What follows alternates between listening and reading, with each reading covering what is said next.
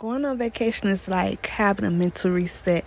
And sometimes in life, we always need a mental reset. Like, you get to some point in life and it's like, I need a breather. So, for Jeff's birthday, we went to Cancun and we took our breather. This was um the end of October until November 1st. And y'all, we had a ball. When I say we had a ball, we had a ball. We needed this.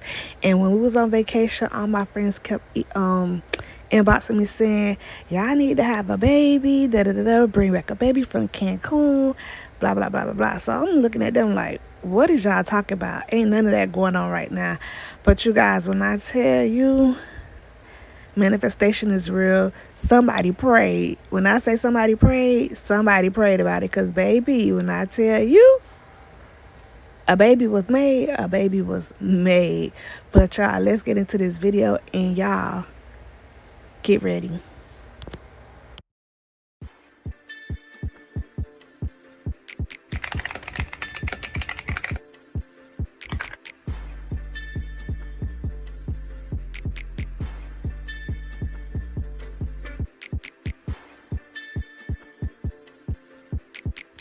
On December 6, 2022, which is our oldest child birthday, we decided to take a pregnancy test because I missed my period.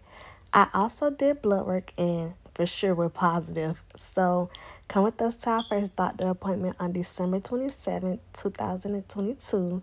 So the enemy, there's somebody in this room where God has anointed you to carry something big and great. And the enemy is trying to interrupt what you're doing. And, and, it may not be just your, your actual womb, but it may be your spiritual womb. And that's why you're always distracted and finding these moments around putting something back down. If you know me, you know I love shopping. So yeah, I had already started shopping. We had got this big old box of onesies for a hundred dollars. And when I tell you we got a lot, I mean a lot of onesies. I had got like five packs of each size. And I don't know. I guess Gerber felt that I was going to have a boy. They manifested that for me. And y'all, it's crazy because I got a boy now. But um, this was so scary to me. On this day the doctor appointment, I got so aggravated with this lady, y'all, because it's like at first it seemed like she didn't know what she was doing and I started getting agitated with her.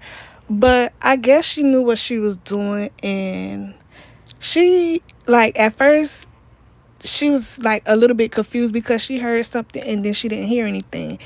And at that very moment, it's just like so many thoughts ran through my head. I was like panicking in the inside, but I didn't show it. And I'm like, well, where's my baby heartbeat? Like, we see the baby, but there's no heartbeat. And it went downhill from there, y'all. When I tell y'all, I was devastated. It was something that I didn't expect. I was standing up doing hair and I just felt a gush of blood. And y'all, when I tell y'all, I almost lost my mind. I almost lost my mind. So here we go on this journey of having a miscarriage.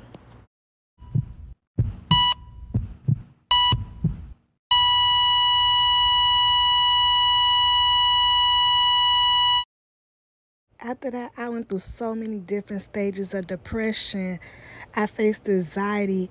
I was so stressed out so many days that I just didn't know if I was coming or going. And then I just, I don't know, I lost hope all over again once I got a false pregnancy test. And I was like, why me at this point? And he was my only safe space. We was on the phone for hours, days. Every day that he go to work, from the time that he get there. Well, before he get there, I'll do my whole shift, and he did everything to try to keep me happy. But I don't know. Hey y'all, I am excited today. It is February 22nd, and we're on another journey to try to conceive again after the miscarriage. This time we're doing ovulation testing, and today I did my first test for CD number 9. CD means cycle day.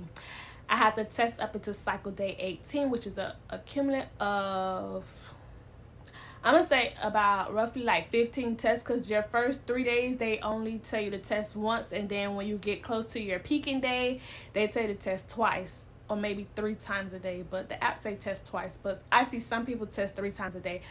But once I get all my results together, I'll load my chart and I'll show you guys all at one time how it works and what to buy and how to do it and when to do it. But I got some exciting news too, y'all. I'm excited today. I'm so anxious today. I'm just excited. But let me tell y'all why I'm excited. And I am so anxious. Like, I'm excited and anxious, y'all. I'm going back to the doctor today to do testing to find out what happened during our miscarriage.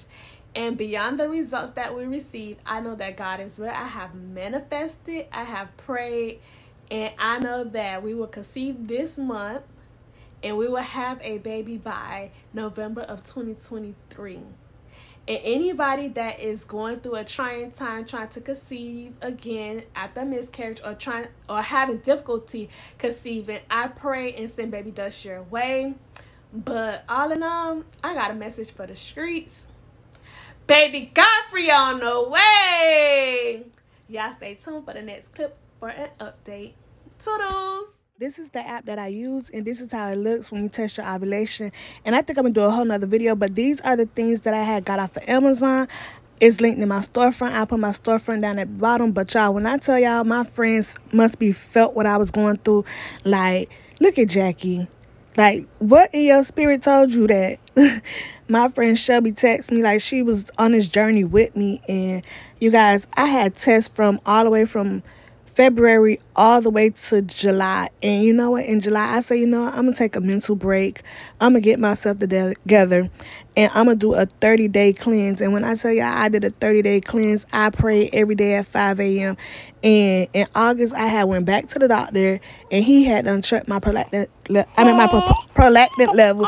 And y'all can hear my testimony in the background crying, y'all. When I tell you guys, God is real, God is real. And when you walk by faith and not by sight, your partner also feel it. When I tell you this man was like on his P's and Q's about it, he was on this journey with me. Also, he carried me through this journey and it was so hard to face. I was just in denial the whole time. But on September 29th, we baby dance shot. And when I tell you, we danced it down. We danced it down. Because on October 14th, when I tell y'all God is so real, he is so real on my birthday.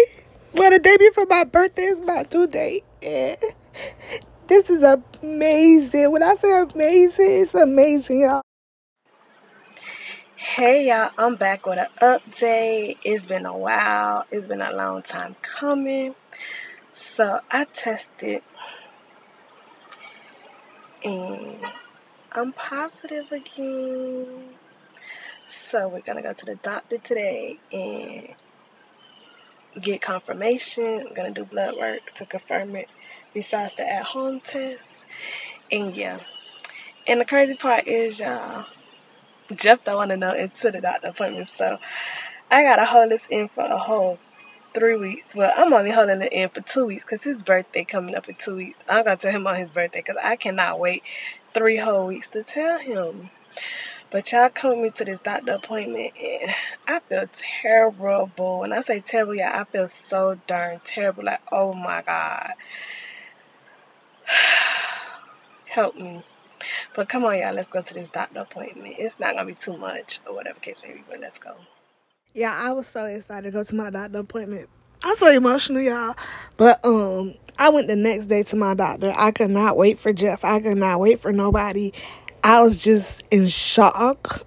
Only I knew. And I was like, oh my God, this is happening. Like, God is real. And He will carry you through whatever storm you're going through. And He carried me all this way. And when I say I am forever thankful for my child, I'm forever thankful. But um yeah, this was a journey. When I say a journey, it was a journey.